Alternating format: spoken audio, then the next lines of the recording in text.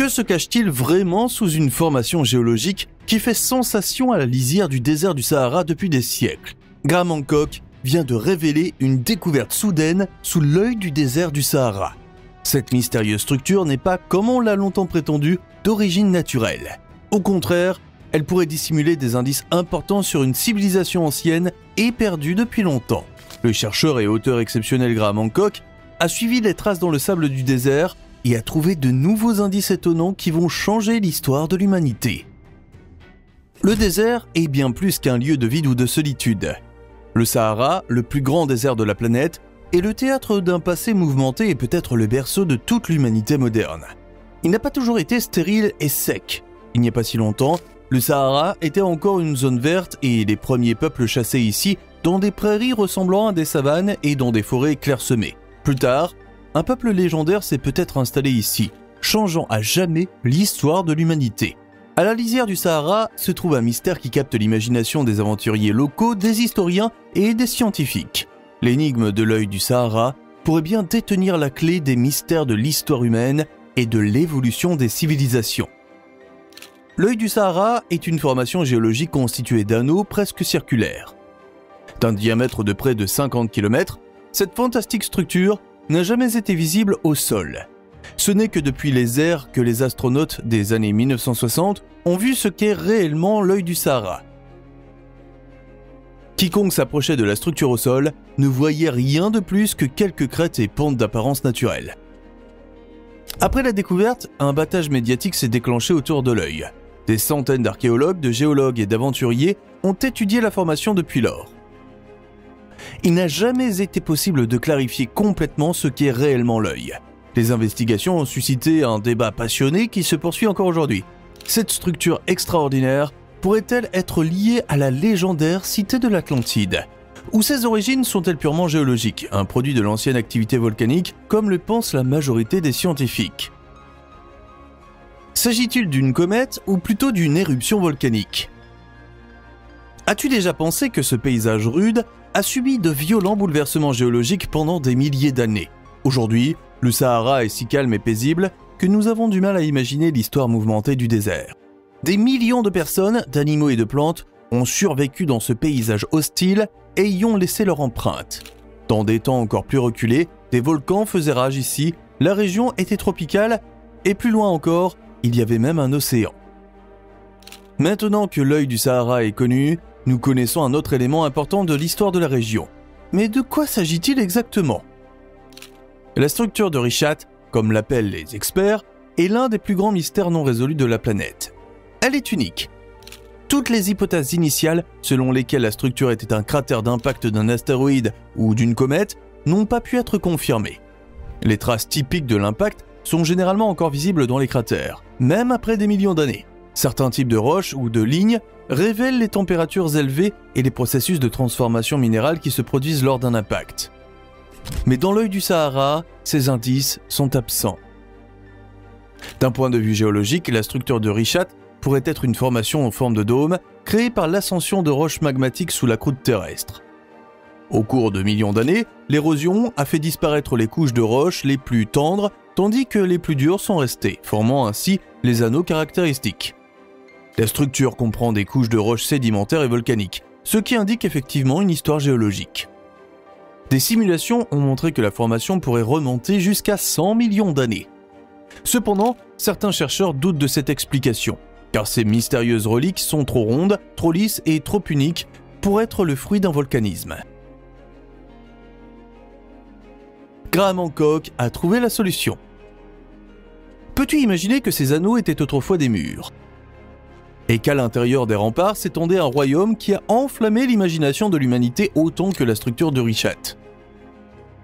L'œil du Sahara a captivé non seulement les géologues, mais aussi les théoriciens et les historiens qui voient dans cette structure bien plus qu'un simple phénomène naturel.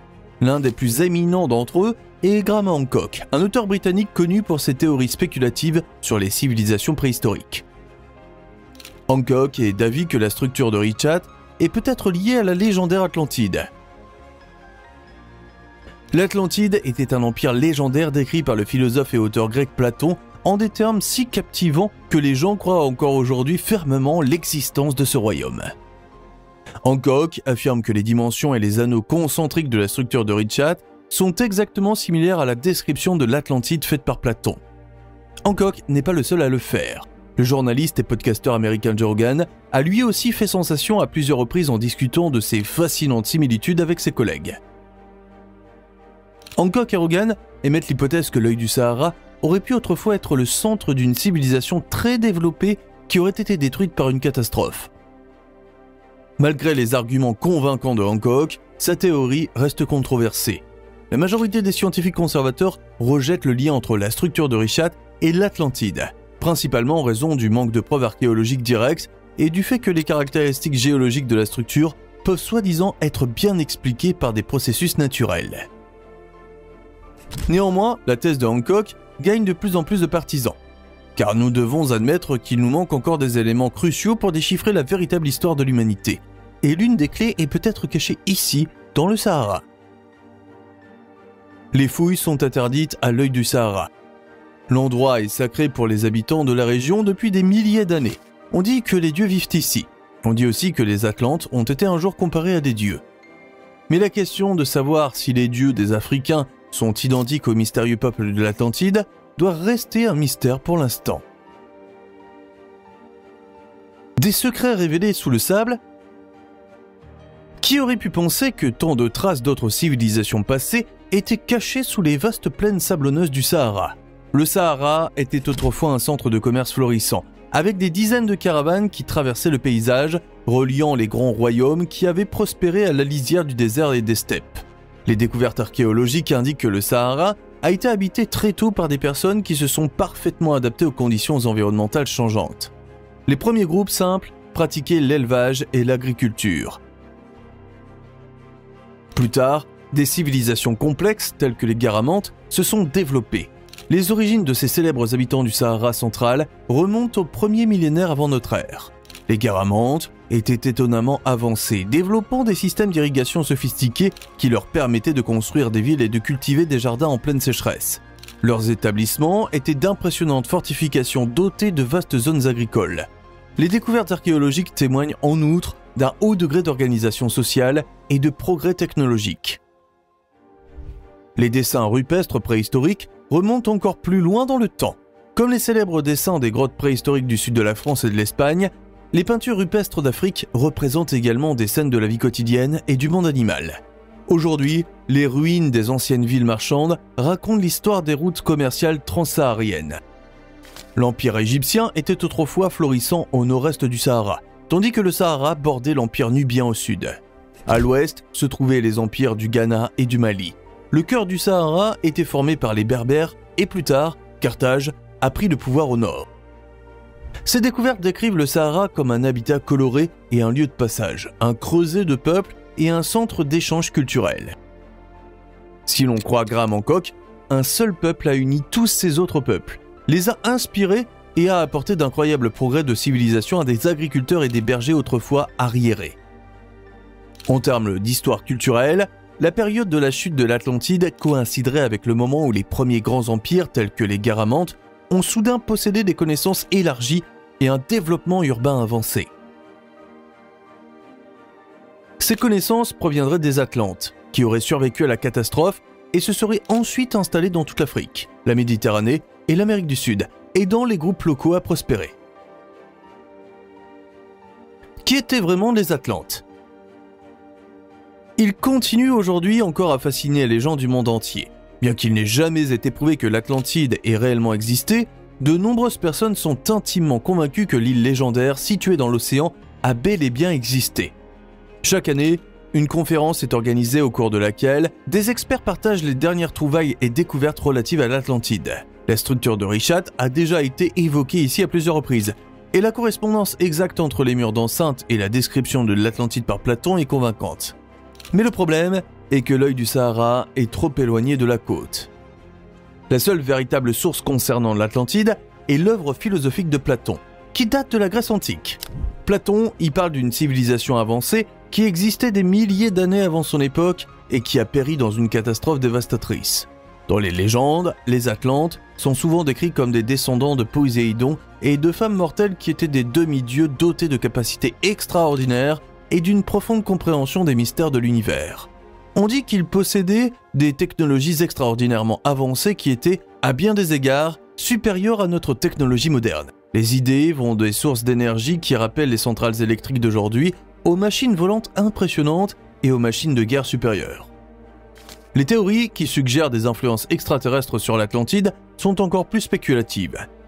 Elles affirment que les Atlantes eux-mêmes venaient d'autres étoiles ou étaient au moins influencés par des visiteurs extraterrestres, ce qui expliquerait leur capacité apparemment surnaturelle et leurs connaissances avancées.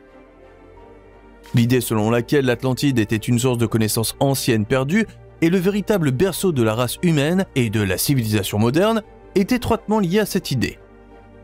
Certaines des spéculations les plus intrigantes suggèrent même que l'Atlantide aurait existé dans une dimension parallèle ou une ligne temporelle alternative, ce qui expliquerait l'absence de preuves concrètes dans notre réalité physique. Certains chamans ou médiums clairvoyants affirment que l'Atlantide a réellement existé en tant que continent au milieu de l'océan Atlantique. Les Atlantes entretenaient des colonies en Amérique du Sud, en Afrique et dans les régions méditerranéennes. Cela signifie que l'œil du Sahara n'aurait pas pu être le centre de l'Atlantide, mais peut-être l'une des colonies sur le continent. La ville aurait pu être construite à l'image de la capitale atlante. Si l'on se tourne vers d'autres cultures, les preuves de personnes portant des casques, des vaisseaux spatiaux et d'étranges soucoupes volantes pourraient être d'origine atlante. Hancock avance des idées selon lesquelles d'anciennes races avancées géraient un réseau mondial de pyramides, de centrales électriques et d'installations de communication. À ce jour, les historiens n'ont pas été en mesure d'expliquer pourquoi de simples éleveurs de bétail se sont soudainement transformés en peuples tels que les anciens Égyptiens. Il en va de même pour les Sumériens, d'autres civilisations mésopotamiennes avancées ou le mystérieux empire minoan, qui a fait connaître à la Grèce moderne ses premières heures de gloire. Abonne-toi dès maintenant car les meilleures vidéos sont encore à venir.